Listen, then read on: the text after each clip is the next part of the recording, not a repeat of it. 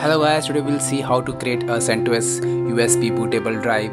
So for that just go to CentOS website and click on CentOS Linux DVD ISO to download it and after that just go to Rufus uh, rufus.os it is a tool to create a bootable drive. So on that website you go down and download rufus 3.8 the latest version right now. So after downloading it it is a portable software just run it and you will see this kind of interface. Uh, just select your drive which is connected to the system and after that just click on select button which is given on the left side uh, to select the ISO file of the downloaded CentOS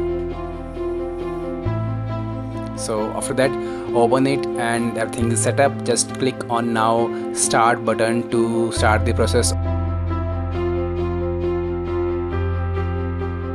And it will say writing an ISO yes okay recommended and again it will say all the data will wipe out okay. And now here it is started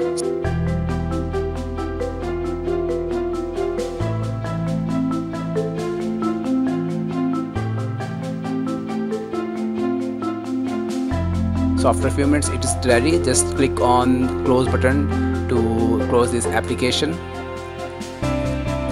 And if you if you go uh, to my computer you will see inside the drive all the files would be there like here in this of and just plug in this drive to system where you want to create a, uh, you, you want to install CentOS. That's it